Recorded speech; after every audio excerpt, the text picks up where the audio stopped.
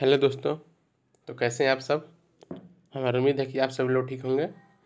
एक बार फिर स्वागत है आपके चैनल एम एन अचीवर पर। तो हम लोग क्लास जो टेस्ट सीरीज़ है, अभी पोल्ट्री और बायोलॉजी टेस्ट सीरीज़ चल रही है, तभी हम लेकर आए हुए हैं पोल्ट्री का टेस्ट सीरीज़। जो कि हम लोग बात कर रहे थे, अभी हम लोग बात कर चुके थे कि भारतीय संविधान के ऐतिहासिक परिप्रेक्ष्य से जुड़े हुए प्रश्न।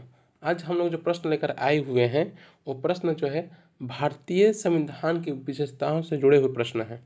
जो भारत का संविधान है, उस संविधान में कौन कौन सी विशेषताएँ हैं, कहाँ से ली गई हैं, जो समितियाँ थीं, कि कौन से समिति, जो समितियाँ हैं, किस समितियों के रूप में बांटी गई है।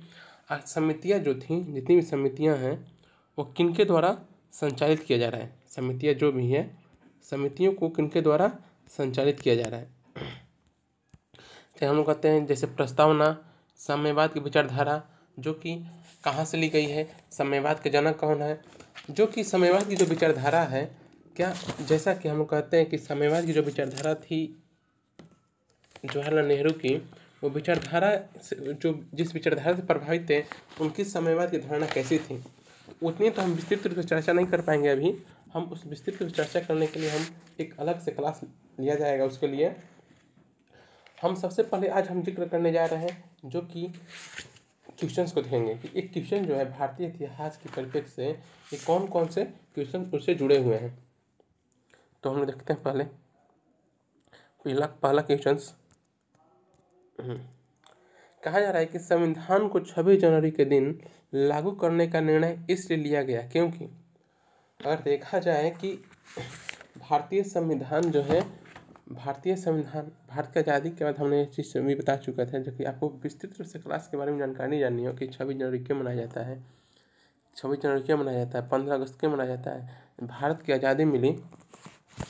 भारत की आज़ादी से लेकर, जब भारत की आज़ादी मिली पंद्रह अगस्त पंद्रह अगस्त उन्नीस सौ सैंतालीस को, पंद्रह अगस्त उन्नीस सौ सैंतालीस को, और और संविधान लागू होने के बीच, आज़ादी और संविधान लागू होने के बीच कौन से नियम के साथ भारत में शासन क्रियान्वित किया जा रहा था, इन सब चीज़ों के बारे में अच्छी तरह से डिस्कशन करने के लिए आप लोग क्लास पर जाना पड़ेगा। सिर्फ़ हम लोग देखें क्वेश्चन में क्या किया जा रहा है। कहा जा रहा है कि संविधान को 26 जनवरी के दिन लागू करने का निर्णय इसलिए लिया गया क्योंकि संविधान को 26 जनवरी के दिन लागू करने का निर्णय क्यों लिया गया? इसके पीछे कारण क्या थे?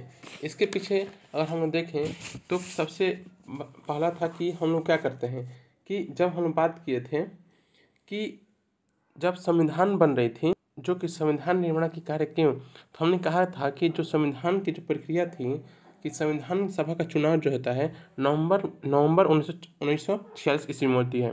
क्या होती है? जो संविधान सभा का चुनाव होती है, नवंबर उन्नीस सौ छियालीस ईस्वी में होती है। नवंबर नवंबर उन्नीस सौ छियालीस, जो कि तो जो कि उन्नीस सौ छियालीस ईस्वी में होती है चुनाव तो चुनाव के साथ यह भी देखा जाता है कि चुनाव होने के बाद क्या होता है कि संविधान सभा गठन होती है। तो क्या होता है कि दिसंबर उन्नीस सौ छियालीस में, दिसंबर उन्नीस सौ छियालीस में, दिसंबर उन्नीस सौ छियालीस में संविधान का निर्माण का कार्य शुरू हो जाता है कि संविधान, नवंबर उन्नीस सौ छियालीस में संविधान सभा का चुनाव होता है और साथ ही दिसंबर उन्नीस सौ छियालीस में संविधान निर्माण के कार्य शुरू हो जाते हैं। और नवंबर उन्नीस सौ उन्नीस सौ उनचास क्या कहा जा रहा है? नवंबर उन्नीस सौ उनचास को, नवंबर उन्नीस सौ उनचास को संविधान निर्माण कार्य पूरा हुआ। मतलब कि उन्नीस सौ उनचास में क्या होती है?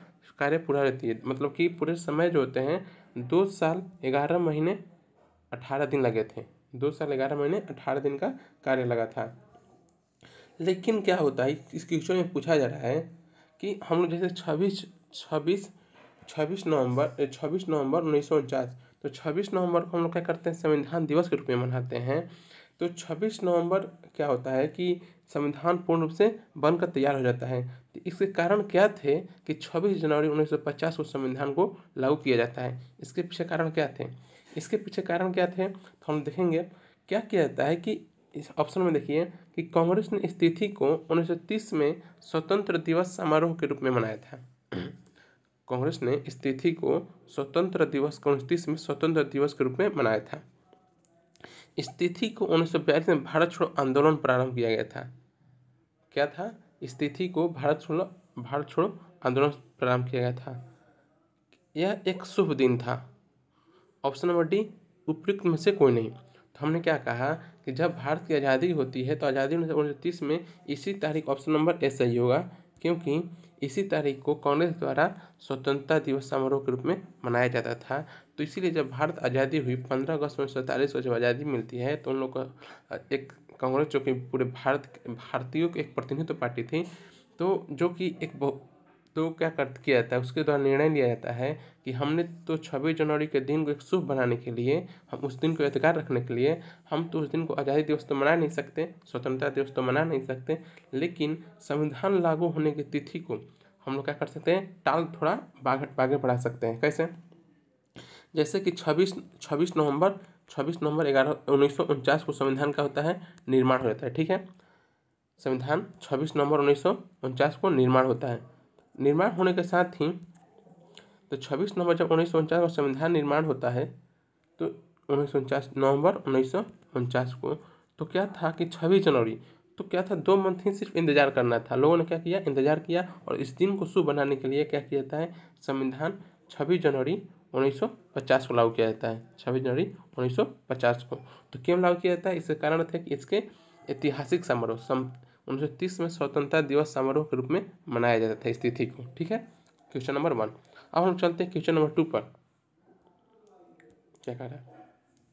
भारतीय संविधान में शामिल हैं तीन सौ पंच, जो कि भारतीय मूल संविधान जो है, शामिल थे, जो भारतीय थे मतलब जो भारतीय जैसे संविधान बनकर तैयार हुआ था, छब्बीस नवंबर उन्नीस सौ पचास को उनचास, सॉरी, उन्नीस सौ उनचास को, छब्बीस जनवरी उन्नीस सौ पचास को लागू हुआ था, उस संविधान में मूल प्रबंध क्या थे? तो उन्नीस सौ पंचानवे अनुच्छेद थे, बारह, बाईस भाग एवं आठ अनुसूचियाँ। ऑप्शन नंबर बी, तीन सौ इकहत्तर अनुच्छेद, इक्कीस भाग एवं ग्यारह अनुसूचियाँ। ऑप्शन नंबर सी, तीन सौ बहत्तर अनुच्छेद, बीस भाग एवं सात अनुसूचियाँ। उपयुक्त में से कोई नहीं। तो इसका सही आंसर होगा ऑप्शन नंबर ए। इसका सही आंसर क्या होगा? Option number A. इसके ऊपर हम ज़्यादा डिस्कशन नहीं करना चाहते क्योंकि इसका जो क्लास है, थोड़ी लंबी चलती जाएगी तो हम लोग क्या करेंगे? जब क्लास डिस्कशन होगी, उस रूप से धीरे धीरे क्या संशोधन के बारे में अध्ययन करेंगे तो उस समय पढ़ते जाएँगे। क्वेश्चन नंबर थ्री कह रहे हैं, किस संविधान संशोधन द्वारा मतदान की आयु इक्कीस वर्ष से घटाकर अठारह वर्ष की गई? क्या होता है कि एक, हम जानते हैं कि एक लोकतांत्रिक देश में लोगों के शासन में कहने का तात्पर्य हुआ कि लोगों के शासन द्वारा लोकतांत्रिक देश में जो सत्ता के सत्ता दल है, उनका जो चुनाव होता है, जो हम लोग कहें कि जो सत्ता का प्रमुख होते हैं, जो प्रधानमंत्री के हैं राष्ट्रपति के हैं उनका चुनाव जो होता है, जैसे राष्ट्रपति का चुनाव अप्रत्यक्ष रूप से होता है, लेकिन जो कि जनताओं प्रधानमंत्री का चुनाव जनता द्वारा प्रत्यक्ष रूप से होता है, जैसे कि राष्ट्रपति का चुनाव अप्रत्यक्ष रूप से होता है तो उसी तरह से प्रधानमंत्री का चुनाव प्रत्यक्ष रूप से होता है। तो हमने क्या कहा कि जो उस मतदान की आयु थी तो जो मतदान मतलब कि वोट देने की आयु थी, उस समय उससे जब आज़ादी के समय से लेकर अभी कब तक, क्या क्या, इक्कीस वर्ष तक चल रही थी? तो क्या क्या कहता है कि किस संविधान संशोधन इसमें क्वेश्चन पूछा जा रहा है, कौन से संविधान संशोधन के तहत उनकी उनकी मतदान आयु, मतदान करने की वर्ष, वायु सीमा इक्कीस वर्ष से घटाकर अठारह वर्ष कर दी गई। इक्कीस वर्ष से घटाकर अठारह वर्ष कर दी गई। तो ऑप्शन नंबर ए में दिया जा रहा है तिरसठवें संशोधन द्वारा, ऑप्शन नंबर बी बासठवें संशोधन द्वारा, ऑप्शन नंबर सी इकसठवें संशोधन द्वारा, ऑप्शन नंबर डी उपयुक्त में से कोई नहीं। इसका सही आंसर होगा इकसठवें संशोधन द्वारा क्या किया जाता है। इक्कीस वर्ष की आयु को घटाकर अठारह वर्ष कर दिया जाता है। कहा जाता है कि अठारह वर्ष में लोगों की परिपक्वता भी अच्छी तरह से आ जाती है, जो कि अपने सत्ता, अपने अपने शासन के, अपने शासन में कौन से लोगों द्वारा अच्छी तरह शासन संचालित की जा सकती है, वे उतने विचार कर सकते हैं। ठीक है? हम लोग क्वेश्चन पूछा था क्वेश्चन नंबर फोर पर चलते हैं हम लोग। क्या करें? भारत के संविधान के निर्माण में संविधान सभा की मदद करने वाले दो लोक सेवक निम्नलिखित में से कौन से हैं? ये पूछा जा रहा है जिस जिस तरह से आप लोग सिविल सर्विस की तैयारी करते हैं, वही पूछा जा रहा है कि जो संविधान सभा बन रही, जो संविधान सभा थी, उस संविधान सभा में सहायता करने के लिए इनमें से, इन इन लोगों में से कौन दो लोक सेवक जो थे कि जो भारतीय संविधान सभा के निर्माण में सहायता दे रहे थे। ऑप्शन नंबर ए में दिया गया बी एन राव तथा K M Munshi. Option number B में एस एन मुखर्जी तथा Alladi Krishnaswami Ayyar. Option number C B N Rao तथा S N Mukherjee. Option number D K M Munshi तथा आल्लादी कृष्ण स्वामी Iyer.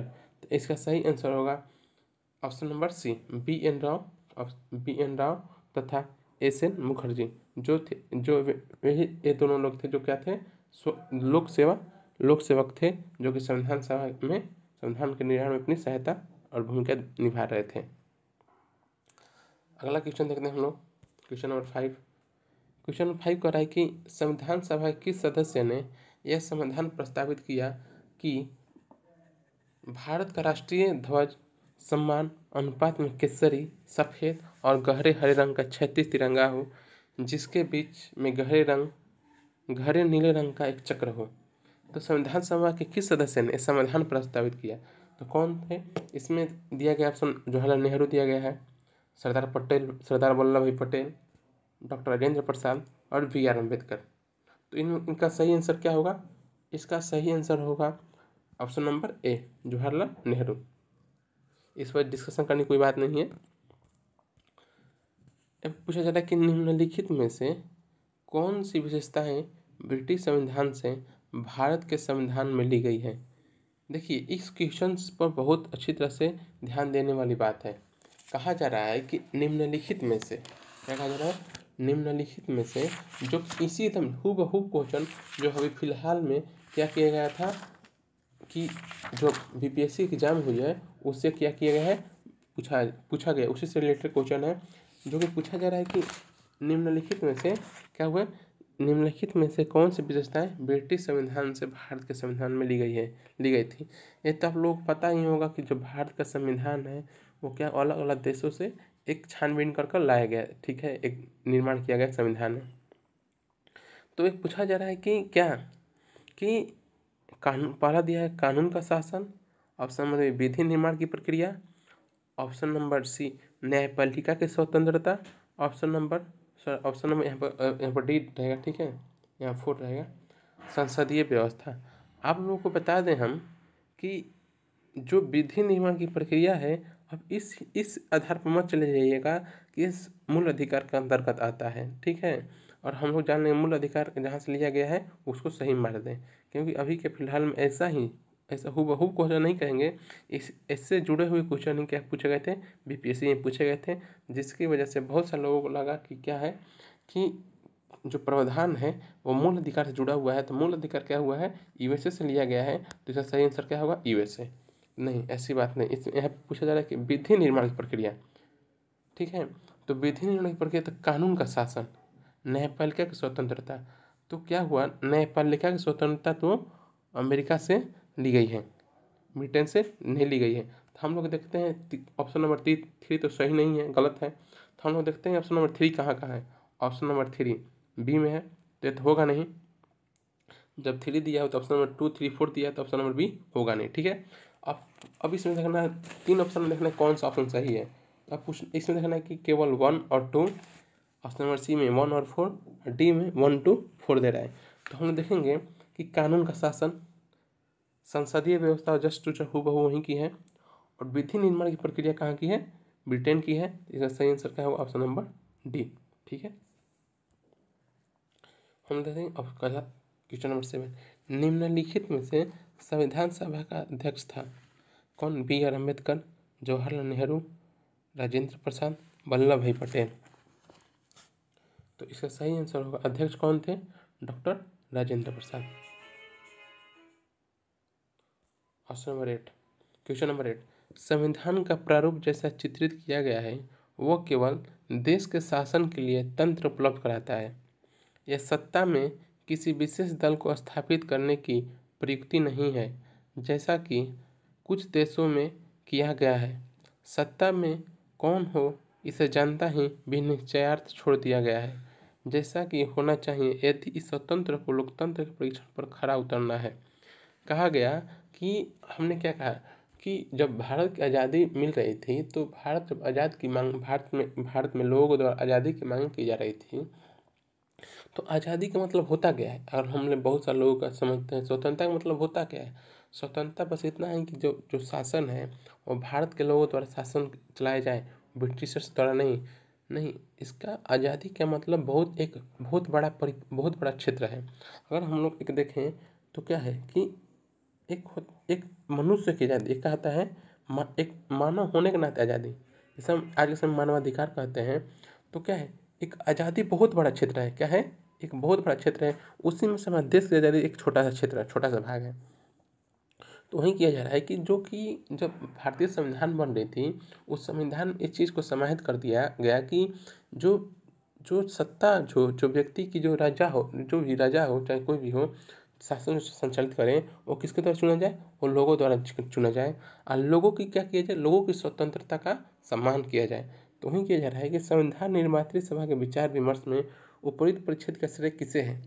Jawaharlal Nehru, Maulana Abul Kalam Azad doctor B R Ambedkar Acharya जैविक B Kripalani तो इसका सही answer है doctor B R Ambedkar क्या है? Doctor B R Ambedkar option number B.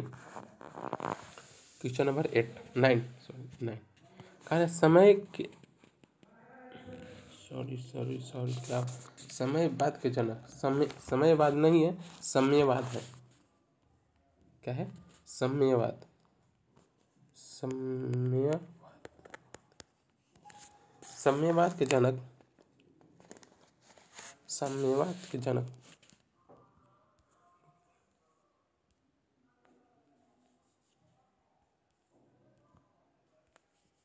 साम्यवाद, ठीक है? लिख ली, साम्यवाद नहीं है, साम्यवाद। साम्यवाद के जनक भारत में पूछा जाए, कौन माने जाते हैं? जो कि आप लोग पता होगा कि जो विचारधारा है, जो कि हम देख रहे थे कि एक, जो कि साम्यवाद साम्यवाद की जो धारणा है, एक बहुत बड़ी धारणा है, जो कि हम यहाँ पर अच्छी तरह से नहीं समझ पाएँगे। जैसे कि धीरे धीरे समाजवादी, सोशलिस्ट मतलब जिसे हम समाजवादी कहते हैं साम्यवादी कहते हैं, समाज इसकी समाजवादी की विचारधारा कैसी थी साम्यवादी की विचारधारा कैसी थी तो साम्यवाद साम्यवादी तो साम्यवादी विचारधारा जो है, एक कहा जाता है कार्ल मार्क्स द्वारा प्रतिपादित था। क्या होता है? ये कार्ल मार्क्स द्वारा प्रतिपादित था। जो कि वो क्या किया जाता है कि वर्ग विहीन और राज्य विहीन समाज की मतलब कि वो जो कि आपको पता हुआ कार्ल मार्क्स ने इसलिए सर्वहारा और बुर्जवा के लिए ना क्या किया? एक दो ही, अमीर और गरीब। मतलब कि अमीर और गरीब, शोषण का शिकार। मतलब कि शोषण का शिकार को शोषण गरीबों को शोषण किया जा रहा है उन सभी के लिए उन्होंने लड़ाई लड़ी। एक साम्यवाद साम्यवाद, साम्यवादी विचारधारा दी। और उन्हें एक कल्पना थी कि जब समाजवादी विचारधारा चलेगी सोशलिस्ट चलेगी तो साम्यवाद आ जाएगा। और जो कि एक वो क्या करते हैं हम लोग? कल्पना लोग समाजवादी, जो कि राज्य विहीन समाज हो। जैसे राज्य विहीन समाज हो वर्ग विहीन समाज हो तो वही उसी तरह से बात किया जा रहा है। तो उसके जनक कौन थे भारत में? तो भारत में पूछा जा रहा है। तो और हम पूरे विश्व में बात करें कार्ल मार्क्स, ठीक है? Karl Marx. वहीं भारत की बात करें हम लोग तो भारत में जो थे एम एन रॉय। कौन थे? M N Roy. ऑप्शन का लास्ट क्वेश्चन नंबर टेन उद्देश्य प्रस्ताव किसके द्वारा प्रस्तुत किया गया था? ये तो कोई पूछने वाली बात नहीं जवाहरलाल नेहरू द्वारा उन्नीस छियालीस में। निम्नलिखित में से कथनों विचार कीजिए। उद्देश्य प्रस्ताव, वहीं देखिए, तेरह दिसंबर उन्नीस छियालीस में प्रस्तुत किया गया। उद्देश्य प्रस्ताव सरदार पटेल द्वारा लाया गया था। उसी क्वेश्चन से घुमाया गया है। तो आप लोग पता होगा कि तेरह दिसंबर उन्नीस सौ छियालीस को लाया गया, लेकिन किसके द्वारा प्रस्तुत किया गया था सरदार पटेल द्वारा। हम्म? या पंडित जवाहर नेहरू द्वारा। तो सरदार पटेल द्वारा नहीं, किसके द्वारा? पंडित जवाहरलाल नेहरू द्वारा। पंडित जवाहरलाल नेहरू द्वारा क्या? ठीक है।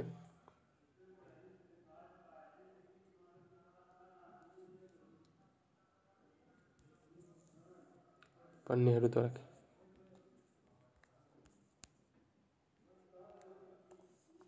यहाँ तक। अब हमें जानना है कि, कि नेहरू द्वारा ठीक है। अब हम इसमें से कौन सा कथन सही है? तो जब दूसरा गल दूसरा तो हो दूसरा जब गलत हो गया सरदार पटेल द्वारा प्रस्तुत नहीं किया गया था विद होगा नहीं न तो वन न तो टू होगा नहीं ए और दो दूसरा तो होगा नहीं। तो यह सही आंसर क्या होगा? केवल वन केवल वन। मतलब कि तेरह दिसंबर छियालीस को उद्देश्य प्रस्ताव प्रस्तुत किया गया था ठीक है? Question number twelfth. भारतीय संविधान की विशेषताओं में निम्नलिखित में से कौन सी विशेषता सम्मिलित नहीं है? मतलब ये पूछा जाए, जो भारतीय संविधान की जो विशेषता है विशेषता है, निम्नलिखित में से कौन सी विशेषता सम्मिलित नहीं है? नम्यता और अनियमितता का मिश्रण। ऑप्शन नंबर बी, संसदीय सर्वोच्चता एवं न्यायिक सर्वोच्चता का समन्वय, ये तो है, दोनों है।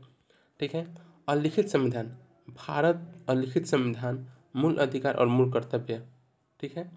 मूल अधिकार का तो जान में करते हैं। मूल अधिकार मूल कर्तव्य भी है। इक्यावन में मूल कर्तव्य का ज़िक्र किया गया है। अनुच्छेद अनुच्छेद इक्यावन में मूल कर्तव्य का ज़िक्र वहीं है अलिखित संविधान। आप लोगों को हमने क्लास में बताया हुआ था कि संविधान को एक लिखित संविधान कहा जाता है और अलिखित संविधान कहा जाता है। लिखित संविधान तो हम जानते हैं कि पूरा विश्व, पूरे विश्व भर में भारत सबसे बड़ा लिखित संविधान है। सबसे बड़ी डेमोक्रेसी है। सबसे बड़ा लोकतंत्र देश है।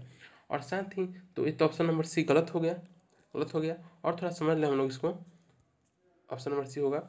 और इसको इस बात को समझ लें हम लोग कि अलिखित संविधान विस्तृत संविधान विस्तृत तो संविधान है बहुत बड़ा संविधान है लेकिन अलिखित नहीं है। क्योंकि भारत का जो संविधान है एक निश्चित सम, एक निश्चित संविधान सभा द्वारा एक निश्चित समय में लिखा गया था।